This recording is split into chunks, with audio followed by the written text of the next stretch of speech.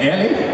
Doch, eigentlich ist es voll lustig, ja. Ich habe ihn eigentlich gemocht und habe das angehört. Ansonsten, ich war ein großer Ali-Fan in meiner Kindheit, war dann ganz traurig, dass er gestorben ist. Ich war eher so diese R&B, sanfte Sinne. Deswegen auch DJ Bobo. Nein, okay, das hat damit nichts zu tun. Weil er Ich weiß aber, worauf ihr steht. Äh, es gibt tatsächlich einen jungen Mann, dessen Namen ich gar nicht mehr sagen muss, weil ich schon habe. Und, äh, Dieser junge Mann sorgt seit Monaten im Internet für Furore, weil er immer Liebesbotschaften selber zusammenkloppt. Und äh, da wollen wir mal einen Blick drauf haben. Ich bin auf der Platte